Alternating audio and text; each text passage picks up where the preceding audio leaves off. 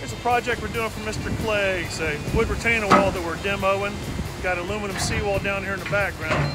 We'll be taking all this out, putting a new vinyl seawall in, along with a uh, new wooden retaining wall. we'll go ahead and flip this over just kind of get an idea of what all's going on.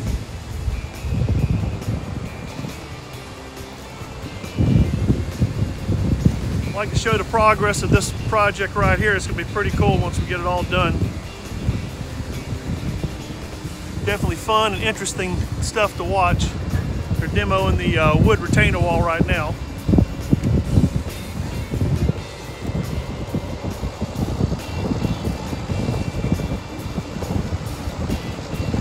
Once we get done with that, we've got a, a uh, boathouse we're going to be tearing down. Dock, build, building a new dock, new boathouse. That's about it. Keep doing progress as we go along.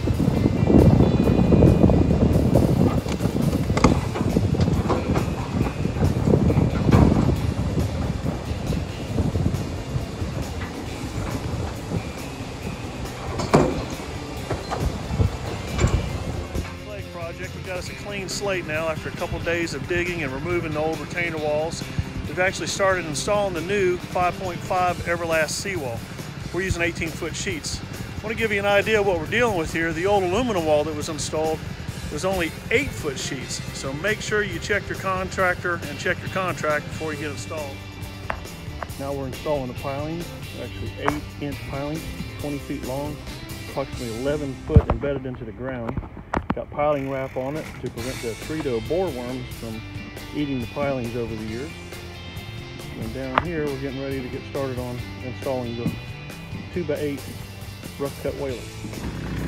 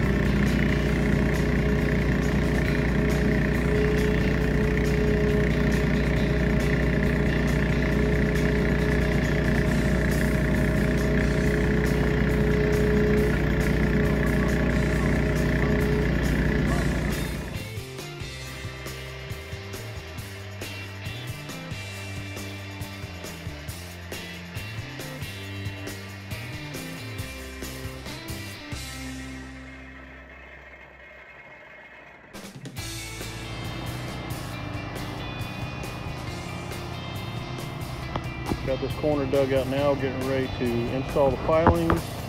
Had to remove a bunch of rocks, and then we'll do the return wall. We have removed all the old riprap from in front of the old seawall. You can see the old aluminum seawall here, which is, I found out, is eight foot sheets. There's seven foot exposed, only one foot in the soil, which is not adequate. You can see behind it, there's another aluminum seawall that failed. The reason why they built the one in front of it. But behind that, there's another wooden seawall that failed. So what we're going to do, we're going to come in here and install a Everlast 5.5 series 18 foot sheet vinyl seawall with supported Navy style with 8 inch by 20 foot pilings in front of it with two sets of double 2x8 rough cut whalers. This should be a fix long term.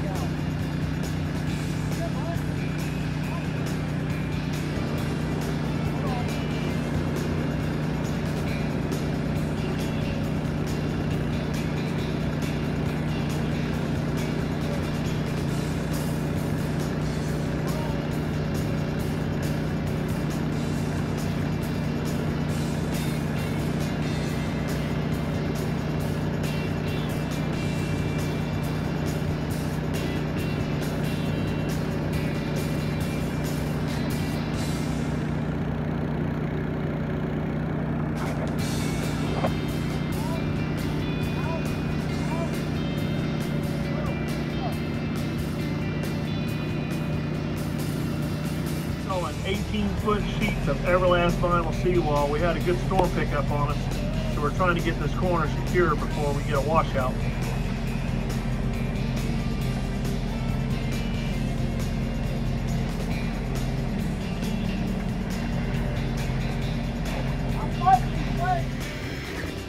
Alright, we got here is a key clamp to pick up a 5.5 18 foot Everlast vinyl sheet piling.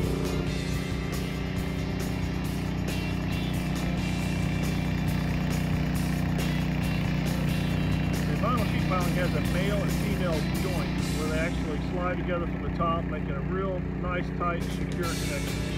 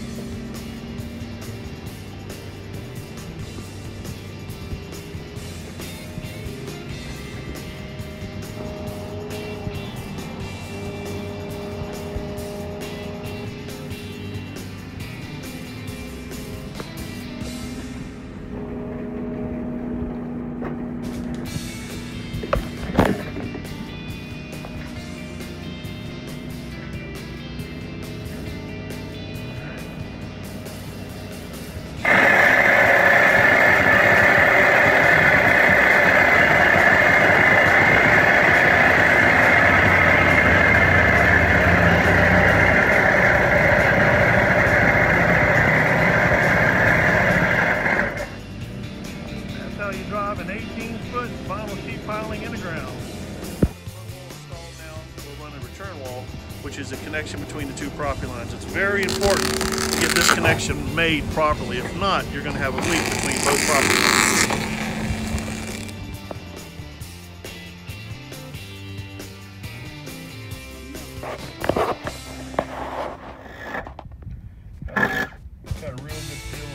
Wall. Got some filter cloth installed between the neighbor's wall and our new seawall inside and out. Should not have any leaks. Class four riprap that we're installing, coming from Calera, Alabama, in these big old trucks right here. This will go out the water side of the seawall, break up the wave action.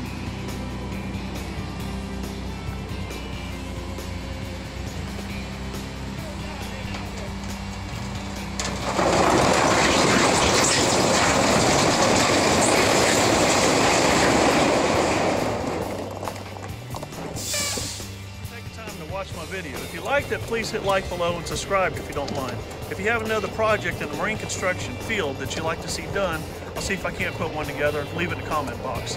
As for now, me and Harley saying bye, and remember, everything built by Dale's Marine Construction is made in America.